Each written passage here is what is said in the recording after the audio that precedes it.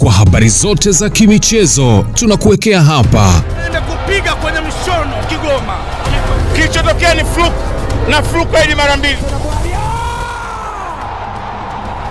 Usisahau kusubscribe na kubonyeza alama ya kengele. Wino Media, the sport center.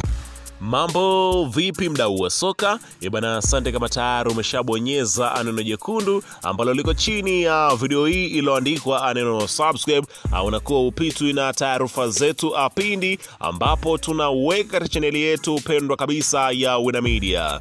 Ila kama ni mara yako ya kwanza kabisa unaingia Wina Media, ajua kwamba umepitwa na taarifa nyingi akemkem kibao. Sasa ili usiendelee kupitwa na taarifa zetu, acha kufanya ni kitu rahisi kabisa kwenye simu yako abonyeza hapo neno jekundu liloandikwa neno subscribe, kisha kabonyeza na alama ya kengele iliyoko hapo chini pembeni, au unakuwa unapata taarifa zetu ah, moja kwa moja kwenye simu yako ah, pasipo kuanza kusechi ah, kuanza kuzitafuta mahala kwingine, ah, zinakuwa zinakufikia ikiwa tu umesubscribe na kubonyeza alama ya kengele. Fanya hivyo sasa hivi ah, kupata taarifa zetu ah, saa 24 popote ulipo duniani zinakuwa zinakufikia mtu wangu ibana. Ah, unafahamu kuhusiana na makali ama ubora wa klabu ya wekundu uh, wa Msimbazi Simba Sports Club, mnyama bingwa mara nne mfululizo uh, kwenye kombe la ligi kuu Tanzania bara uh, kwenye kombe la FA. Kumbuka kwamba alichukua mara mbili mfululizo na mara ya mwisho aliweza kumpiga hapa, nazungumzia klabu ya Yanga kwenye michuano hiyo kule Kigoma.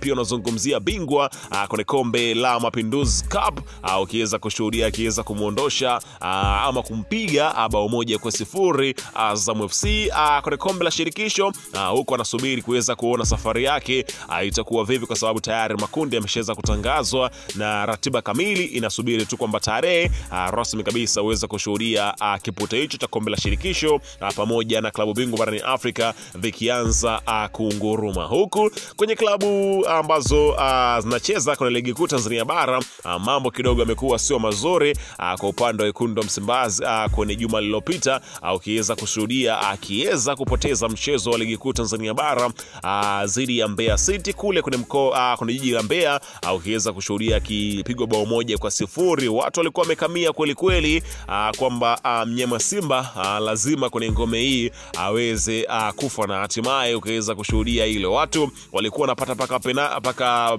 a, kona, lakini waendi kupiga kwamba wanajua shughuli ya mnyama kwamba wakitoka tu a, mnyama amekula mifugo yote ya kule Mbeya. Tuachane na hayo, unafahamu kwamba mchezo unaofuata ni mchezo wa a, kombe la ligi kuu Tanzania bara, mchezo mwingine kabisa. A, Simba anakwenda kutupa karata yake nyingine kuweza kutafuta alama tatu a, kwenye msimamo wa ligi kuu Tanzania bara, mchezo unaokutanisha zaidi ya Mtibwa Sugar kwenye uwanja wa Manungu Complex kule a, mjini a, Morogoro, ambako klabu ya Simba imeweza kualikwa na Mtibwa Sugar. Mtibwa Sugar yeye pia katika safari yake ya ligi kuu Tanzania bara kidogo uh, mambo sio mazuri, anashika nafasi ya kumi na mbili uh, kidogo tu aweze kudondoka kwenye ile mstari mwekundu ambao wa timu ambazo zinashuka uh, ligi kuu Tanzania bara. Kwa hiyo yeye pia anapumulia uh, mipira. Kwa hiyo uh, unaambiwa baada ya kupoteza mchezo huo uh, rasmi kabisa uh, uongozi wa Simba kupitia kocha mkuu Pablo Franco wameweza kutangaza rasmi kabisa yule mchezaji wa kimataifa kutoka Zambia, hapa nazungumzia mwamba wa Lusaka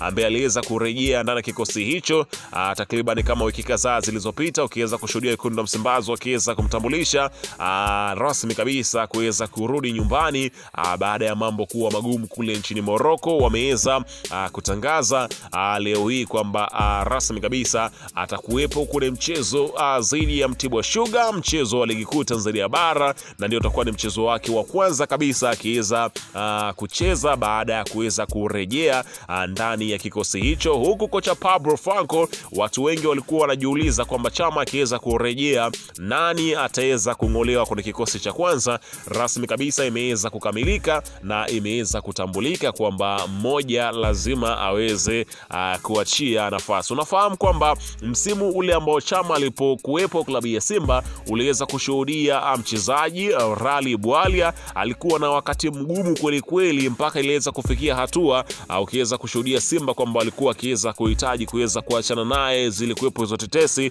lakini baada ya kuweza kuondoka Chama uh, Bwali akawa ni msaada mkubwa ndani ya klabu ya Simba. Kwa hiyo uh, nafasi ambayo anacheza uh, Bwali ni namba kumi na nafasi ambayo anacheza Clatous Chama ni namba kumi. Kwa hiyo unaambiwa kwamba Bwali ameweza kupisha nafasi hiyo uh, kurejea kwa mwamba wa Lusaka. Inategemea mategemeo ya Chama kuweza kuperform vyema ndio atamfanya kuweza kusalia kwenye namba hiyo, ila kama mambo yatakuwa aliweza kubakia kule Moroko, basi utaweza kushuhudia Bwali akiendelea kubakia kwenye nafasi hiyo. Bado haijakuwa ni mia kwa mia Chama analejea namba kumi a, moja kwa moja mpaka aweze kuonesha ule uima, uimara wake basi ataweza kuichukua moja kwa moja. Bwalia ataweza kuangalia nafasi nyingine, kwa sababu kikosi cha Simba ni kikosi kipana bana. Hiyo ndio taarifa ambayo nimekusogezea hapa Wina Media. Usiache kusubscribe, kuweka maoni yako hapo chini. Unadhani ni maamuzi sahihi uliofanya wekundu Msimbazi?